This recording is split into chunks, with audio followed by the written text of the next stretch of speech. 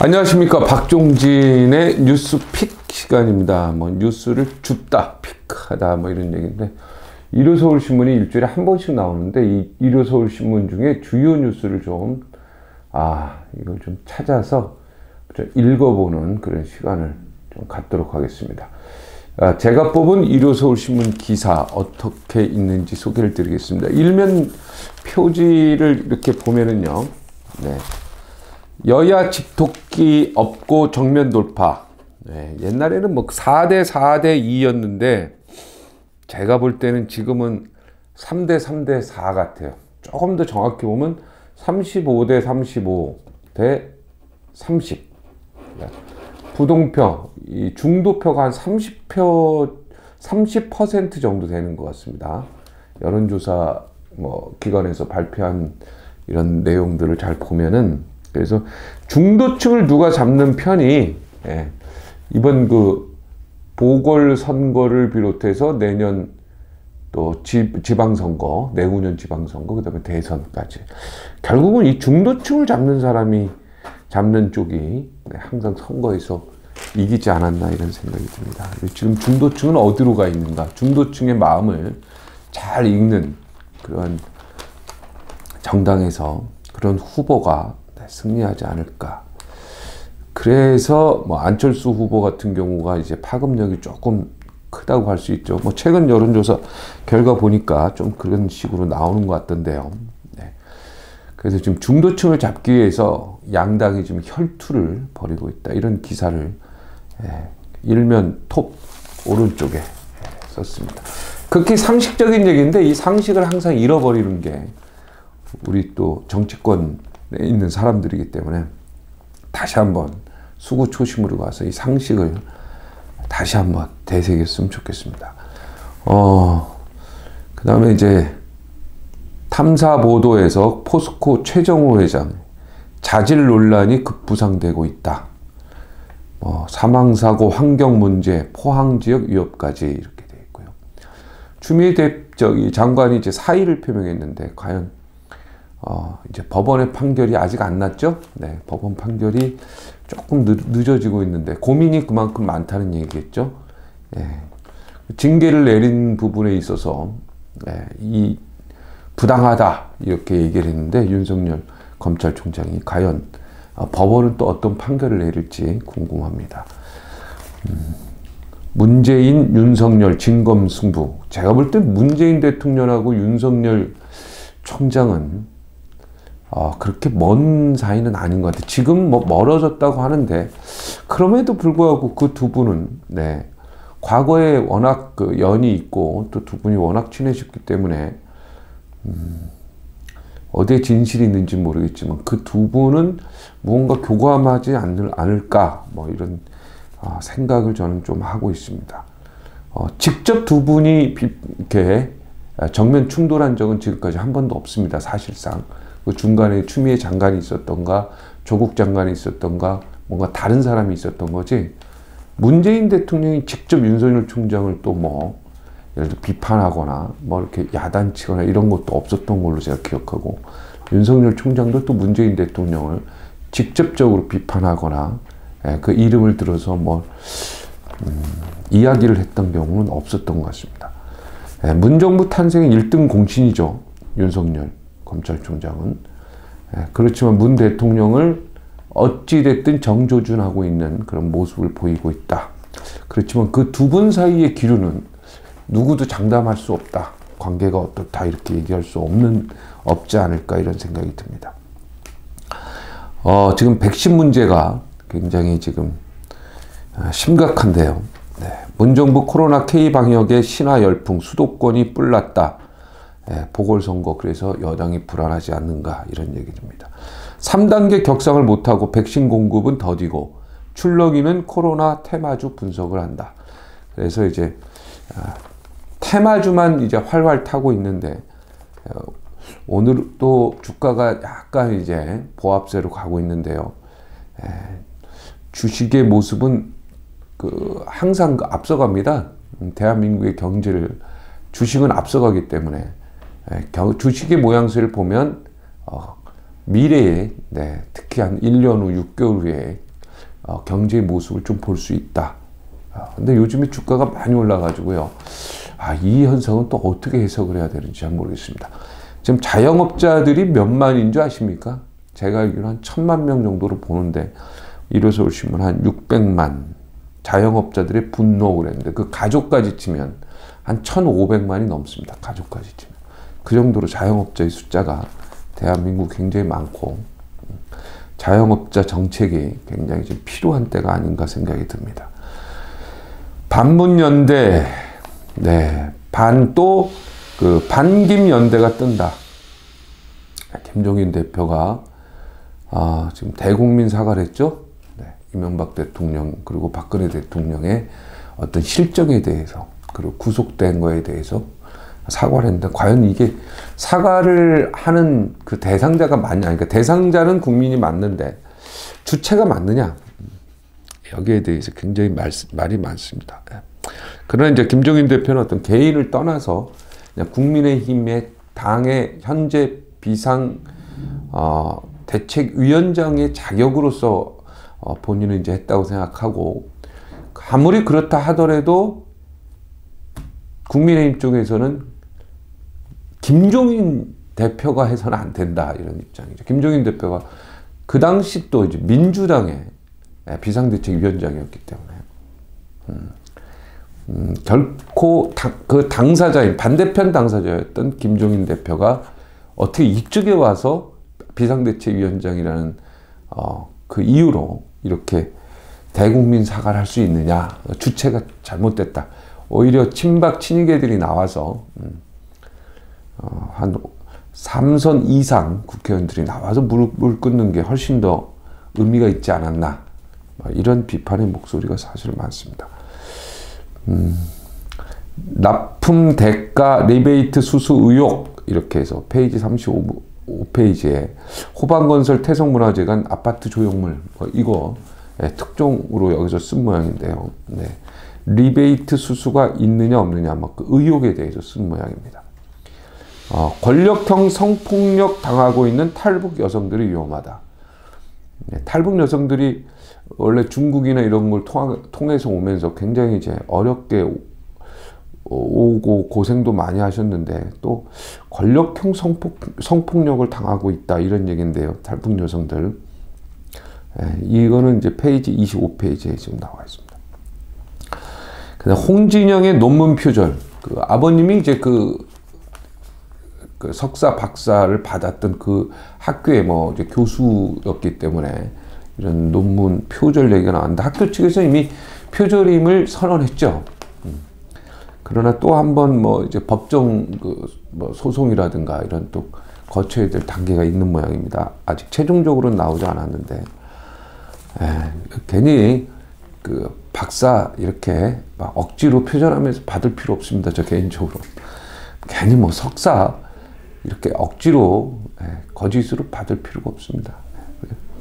그런 얘기를 제 주변에 박사 받으려고 하는 친구들이나 후배들한테 진짜 네가 어, 정말 창의적인 논문이 준비되어 있지 않으면 박사 수료만 해라. 무리해서 예, 받을 필요 없다.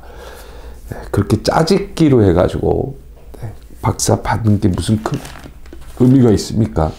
그러다 보니까 너무 요즘에 박사님들이 너무 많아가지고 오히려 박사가 돼도 학교에서 강단에 쓰기도 어렵고요. 예, 굉장히 예, 삶 자체가 그렇게 쉽지는 않습니다. 그래서 방송가에서 좀더 하차했다 이런 얘기입니다. 문재인 케어 3대 쇼크 해가지고 보험사 실손보험이 20% 인상된다. 예. 실손보험 해가지고 이제 우리나라는 건강보험이 잘 됐는데 또 그 얼마 나머지 내는 부분 그리고 비보험 되는 부분 이 부분 때문에 이제 실손보험을 많이 드는데 실손보험 그 액수가 이제 보험료죠 보험금이 아니고 보험료가 20% 인상된다는 얘기.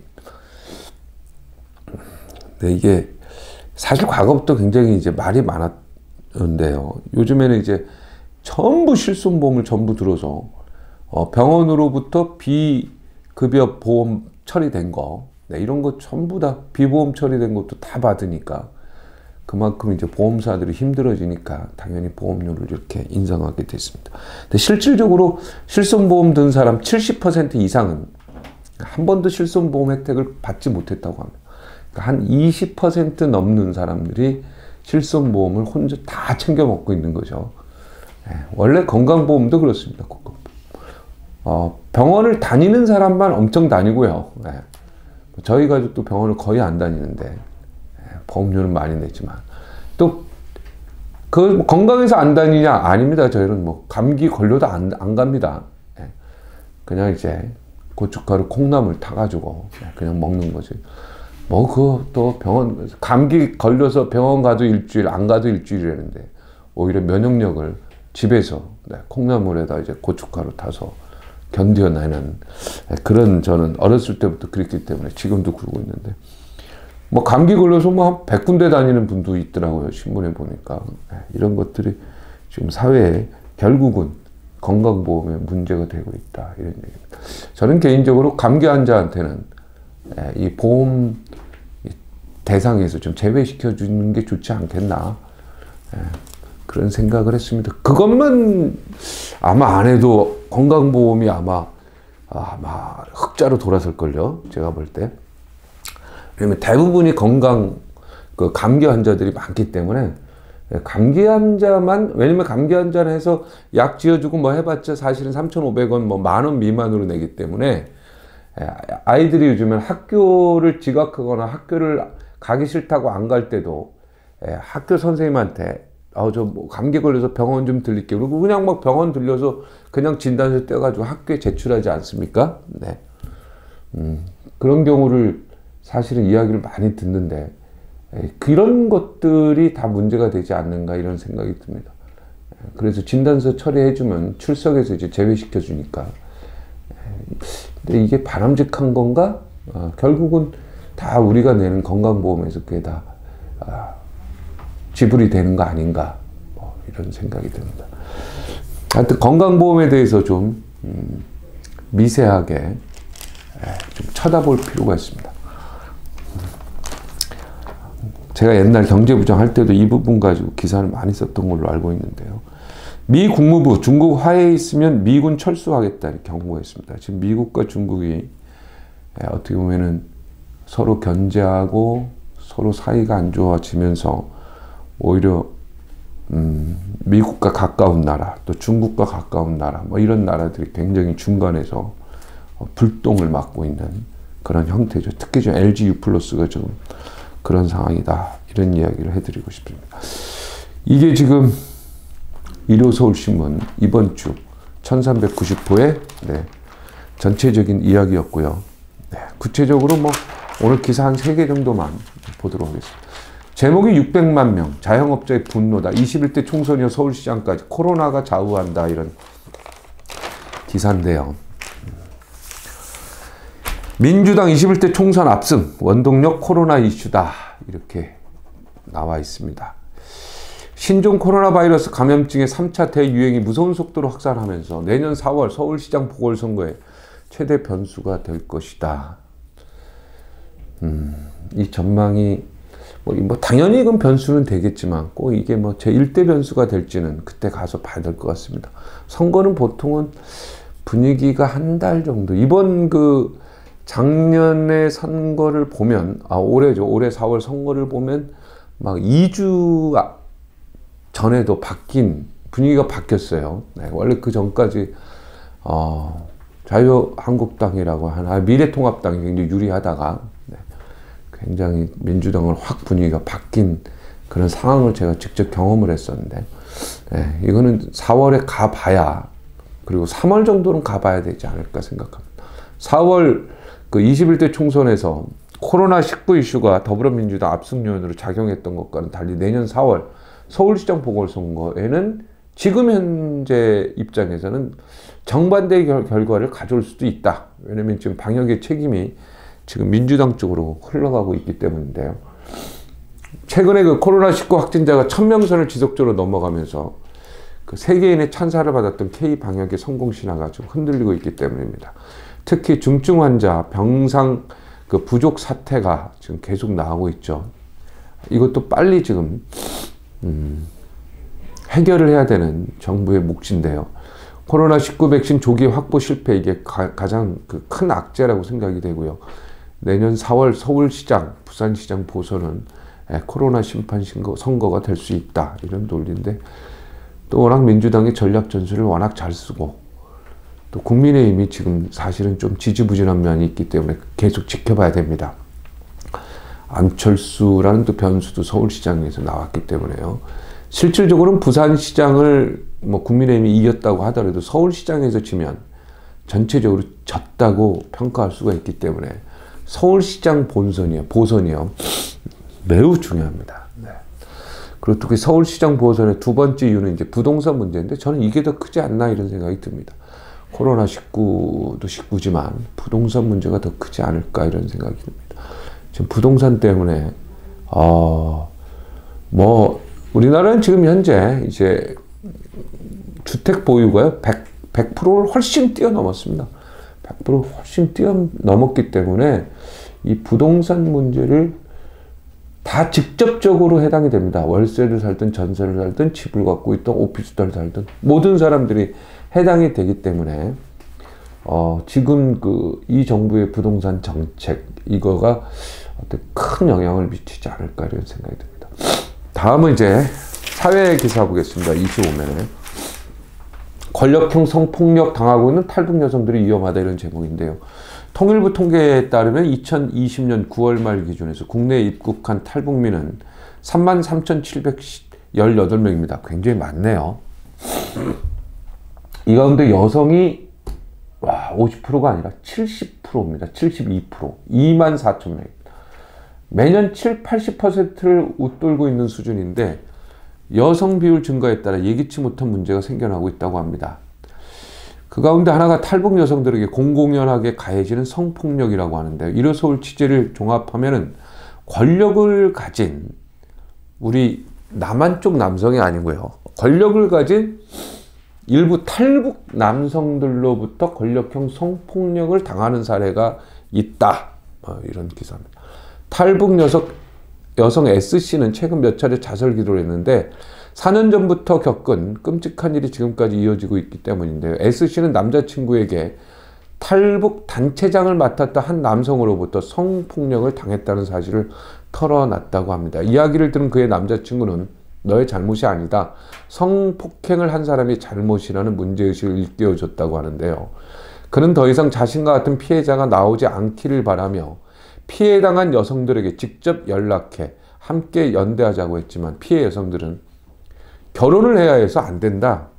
특히 그리고 북한은 성추행, 성폭행이나 이런 것들에 대해서 그 유튜브 방송을 보면 예, 그렇게 막 우리처럼 이렇게 막 심각하게 여성들이 대응하지 않는다고 합니다. 오히려 그렇게 대응하면 좀 바보가 되는 그런 상황이 있기 때문에 북한에서 어, 생활했던 이 탈북 여성들은 이렇게 성 관련해 가지고 성추행, 성폭력 관련해서 적극적으로 나서지 않는 그런 모습을 지금 보이고 있다 이런 기사입니다. SC에 따르면 한국 사회 정착한 3만 명의 탈북민 사회는 북한식 계층 구조가 예, 지금도 재현되고 있다. 제가 지금 말씀드린 대로 북한에서는 뭐 성추행이니 이런 단어가 없다고 합니다. 네, 그리고 그런 걸 문제를 삼지 않다고 하니까 그런 어떤 북한식 계층 구조가 여기도 남아 있는 것 같다 이런 얘기입니다. 가해자 중에 일부 탈북 남성은 북한에서 김일성 종합대학을 졸업했거나 평양에서 살며 당에서 일한 배경이 있는 그런 어떤 권력이 있는 집안 출신인 경우가 많았다고 합니다. 아이러니한 것은 한국에서도 그들의 권력이 그대로 이어져서 상대적으로 힘이 없는 탈북 여성들에게 예, 어떤 권력에 의한 성폭력이 가해지고 있다. 뭐 이런 기사입니다. 자, 경제 기사 한번 볼까요? 네, 이게 이 38면인데요. 이거는 최정우 포스코 회장 자질이 문제가 있다. 수면 위로 지금 그 자질 논란이 떠오르고 있다는 이런 뭐 기사인데 최정우 포스코 회장을 둘러싸 환경 및 노동 관련 문제에 대한 비판 여론이 확대되고 있다고 합니다. 안전사고 특별대책 선언 일주일 만에 사망사고가 또 발생했다고 하는데 이와 함께 최정호 회장의 경영자 자질 논란도 뜨거운 감자입니다. 이게 더 중요한 문제겠죠. 지난달에 포스코 광양제철소의 폭발 사고로 3명의 사망 사고가 발생한 데 이어서 지난 9일 포스코 포항제철소에서 이 부식된 상판 위를 걷던 근로자 A씨가 추락해 목숨을 잃는 그런 사고가 있었습니다. 이에 국회 환경노동위원회 소속 노웅래 더불어민주당 의원이 재발 방지 논의 그 다음에 현장 점검에 나섰고 기자들도 여기 동행하려고 했습니다. 하지만 포스코와 포스코 노조가 기자들의 출입을 원천 차단하고 밀쳐 넘어지는 사고까지 발생했습니다. 이 밖에 포스코가 포항시를 먹여 살린다는 지역사회에 대한 이 포스코 소속 근로자들의 의식도 도마에 올랐습니다. 포스코의 이번 사고와 관련해 포스코가 안전과 환경을 강조하면서도 실제 대비책은 마련하지 않고 있다. 이런 지적이 나오고 있는데요. 하여튼 뭐 교만하면 안 되겠죠. 그리고 어, 환경 문제, 이 노동 그 산재 문제는 에, 사실은 이거는 뭐 근로자, 그 다음에 사업자, 그 다음에 국가가 함께 다 노력해야 됩니다. 에, 최정우 회장이 뭐 억울한 면이 분명히 있을 거라고 생각하지만 원래 보스와 대장 그리고 뭐 CEO는 그리고 대통령은 그 안에서 일어나는 일은 최종 책임자는 바로 CEO입니다. 그리고 대통령이고요. 정치적으로 보면. 그래서 어떤 국가의 사고가 나고 뭐 하면 비가 안 와도 옛날 임금들은요. 다 내 탓이다. 내 덕이 부족한 탓이다. 이렇게 얘기했습니다. 그래서 어, 비가 안 와도 하물며 임금의 탓이라고 했고 대통령의 탓이라고 했고 다 그랬기 때문에 어, CEO는 비록 자기 책임이 없다고 구체적으로 이야기를 하더라도 일단 책임은 도의적인 책임을 갖고 있어야 된다. 세월호 문제가 났을 때도 박근혜 대통령이 사과하지 않았습니까? 대통령으로서 직접적인 책임은 없더라도 도의적인 간접적인 책임을 하는 것이 기본적인 예의고 그 역사가 보여주는 어떤 사례다. 뭐 이런 이야기를 해드리고 싶습니다. 옛날 정조 임금이 이렇게 비가 안 오니까 다 내 덕이 부족한 탓이다 이렇게 해서 네, 그 글을 읽었던 생각이 드는데 이런 겸손함이 필요한 때인 것 같습니다. 박종길의 뉴스픽 매주 한 번씩 시청자들을 찾아가겠습니다. 네, 간단하게 네, 하도록 하겠습니다. 오늘 시청해주셔서 대단히 고맙습니다. 감사합니다.